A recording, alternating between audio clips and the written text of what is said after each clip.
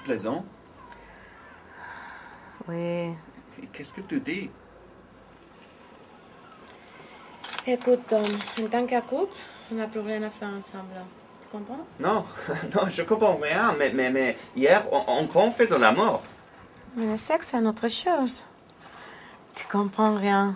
Al- Alors, on a pratiqué le sexe sans amour? Écoute, comme tu confonds tout. J'ai pas dit ça.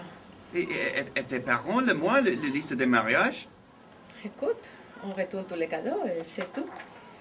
Tu ne diras pas que parce que nous avons la maison pleine de sculptures, de peintures, de serviettes, de plantes, on doit se marier. Mais tous ces cadeaux sont pour nous. Qu'est-ce qui se passe? Tu es faux Écoute, Tom, tu commences à m'énerver. Il faut que tu acceptes la situation. Non. Je suis sûre que tu finiras bien pour te marier. Tu seras un père formidable, un mari fantastique. Mais je ne suis pas prêt pour me marier.